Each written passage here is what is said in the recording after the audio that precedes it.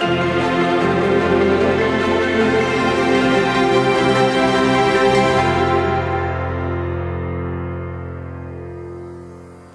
from the Federal Housing Finance Agency. I'm Anju Vajja, Deputy Director for the Division of Research and Statistics. Today, we released the House Price Index report and data for the fourth quarter of 2024. And I would like to point out a few trends from this report.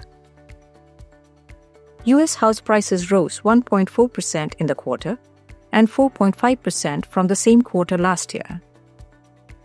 Nationally, house prices grew at a faster pace in the fourth quarter of 2024 relative to the growth recorded over the previous three quarters. Year over year, house prices rose in 49 states and the District of Columbia.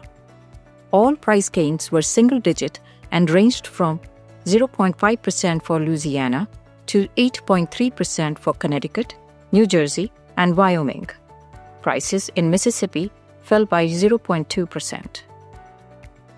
Six metropolitan areas had double digit increases, and eight metropolitan areas recorded declines in house prices from the fourth quarter of 2023 to 2024. The metropolitan area that experienced the most significant price decline was Cape Coral, Fort Myers, Florida, at negative 6.3%.